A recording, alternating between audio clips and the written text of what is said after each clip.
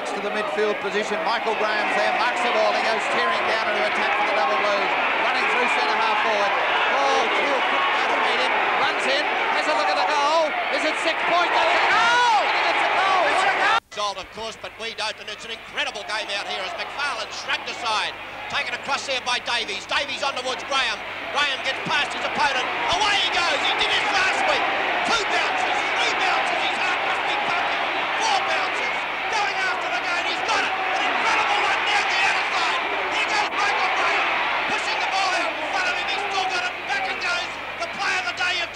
3 Sturt, 3-7 Port.